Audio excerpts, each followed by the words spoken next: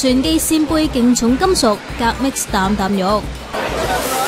蒜蓉粉絲蒸扇貝，諗起都覺得好好味啦。不過啖啖肉嘅同時，亦都係啖啖重金屬啊！深圳市政府上月公布市內貝類海產有七成甲含量超標之後，鎘風暴隨即殺到嚟香港啦。究竟有幾恐怖？我哋先去西貢呢間好出名嘅全记海鮮酒家買咗扇貝，俾政府認可嘅化驗中心測試下。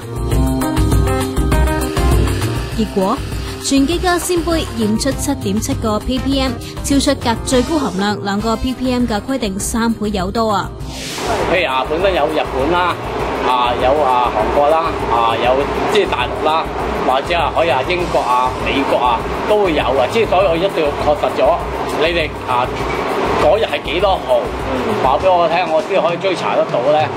全記就話會 check 下究竟係邊個批發商出咗問題，今日開始停售，同客人有個交代。要靠把關嗰度啊，即係啊把關得好，我哋先可能買得到優質嗰啲啊貝殼類啊嘛。如果你把關把得唔好嘅，我哋即係可以做零售嘅，我哋冇可能話即係啊啊知道嗰種貝殼類係真係超標或者啊與唔超標。仲話呢啲供應商都有當地嘅衛生證明文件。誒、呃，我都打咗個突，因為正常以為喺附近即係呢啲地方度攞上嚟，即係以為新鮮噶嘛。